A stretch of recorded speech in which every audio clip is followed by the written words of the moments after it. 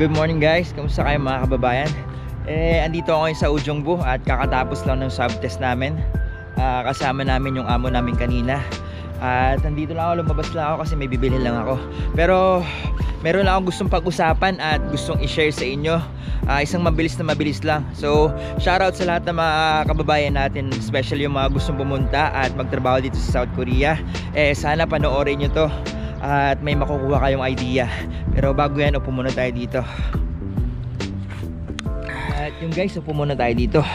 Ah, yung gusto kasing i-share sa inyo is kung gaano kabait yung amo ko. Kung napapanood nyo sa mga previous vlog ko, eh, lagi ko sinasabi kung gaano ako ka-bless at napakabait ng amo ko. At yung gusto ko naman pag-usapan is yung kahapon kasi may napanood akong video uh, ng isang kababayan natin at isang Koreano na nag-aaway.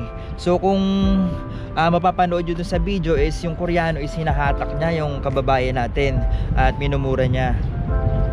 Pero syempre hindi kasi natin pwedeng i-judge kasi hindi naman natin alam yung punot dulo. Pero syempre para sa akin yung simpatya ko dun is para sa kababayan natin kasi to the point na hatakin ka at kwelyohan ka is maling mali talaga yon di ba eh kaya lang ako gumawa ng video kasi ang dami kong nakitang ano dun uh, mga comment dun na sinasabi nila na uh, ang mga Koreano daw is salbahe, masasama daw ang ugali, palamura daw. So, geni generalize nila na ganun ang Koreano. So, para sa akin hindi po hindi ganoon hindi naman lahat no mas marami pa rin yung mga mababait na Koreano okay so kahit anong lahi merong masasama ang ugali merong mali ang ugali so kahit Pinoy, 'di ba po? Meron din mga ganun ang ugali. So, hindi natin pwedeng lahatin yung mga Koreano dahil napakalaki ng uh, ako, napakalaki din ng utang na loob ko sa Koreano dahil sobrang bait ng amo ko. So, ang dami ko rin mga kabatch na ano na uh, mababait din yung mga amo nila. Kung meron mang mga hindi maganda yung mga napuntahan, iilan lang po yun, no?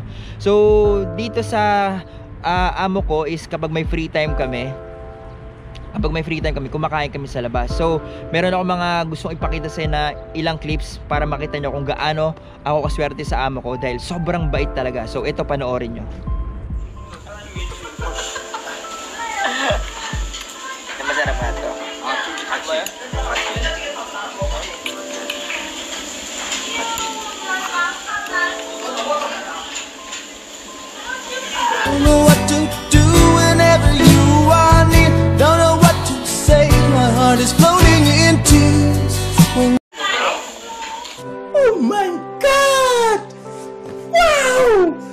Yan ang amo, sinusubuan ka pa.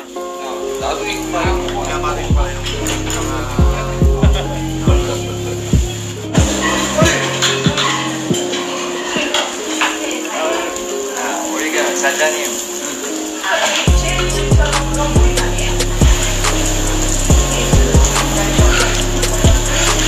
Kaya kami sa labas. Sinarich namin yung kota. Ataw daw kami.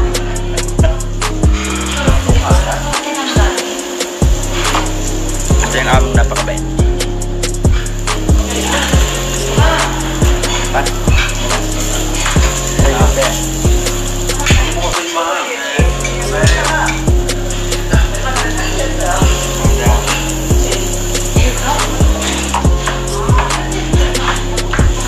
okay.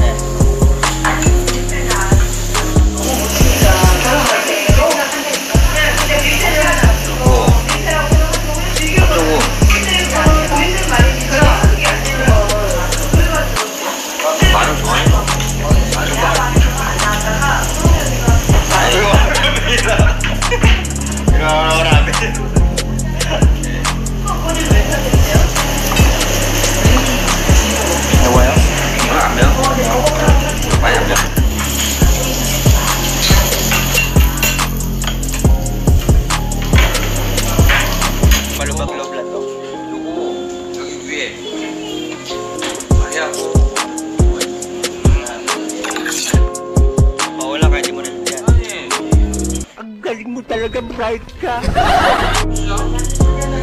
Ang balubag loob kasi pasok pa rin kami bukas.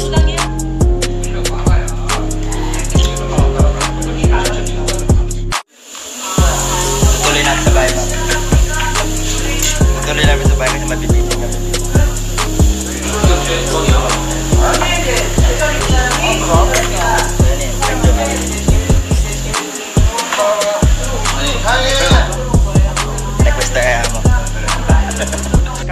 reklamo. Request tayo, kapalanin mo ka natin. Diyo ma, make sure to subyang yan. Eh, kamsamida. Tujuan na yan? Tujuan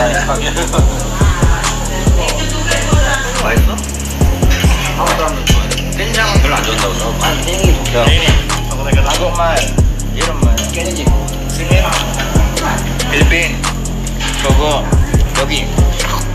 여기 아빠? 아빠. 여기 아빠? 브레이크는 잘 되네. 요거 엄청 비싸.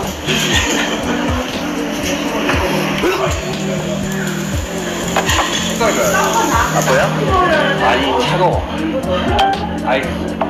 아, 여기, 여기만, 요거만. 요거만. 잘안 보여? 네. 아? 네. 어? 이거 차고 있는 거야. 아, 이거. 아, 이거 적었어요? 적었어요? 에어컨 오는 거 아무도 없던가 감각이 없는 거 아니고 나 마술 같은 하면서 아무 라면 봐봐요 아. 어? 이제 아니 분이나 뭐? 천천히 먹으면 천천히. 조금. Ano? Bali mo yun. 조금. Kaya siya ka tayo. Ibang buhay.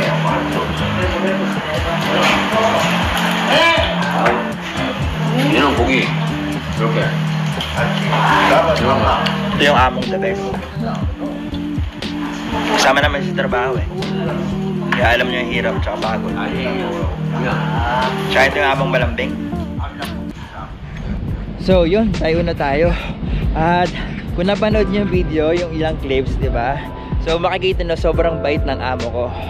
At mapapasana all ka na lang talaga. So to the point na sinusubukan ka ng amo mo kasi yung amo namin is malambing. At pag may hindi ka alam, ayaw niya yung ayaw niya yung na-OP ka. So pag may hindi ka alam, tinuturo niya talaga.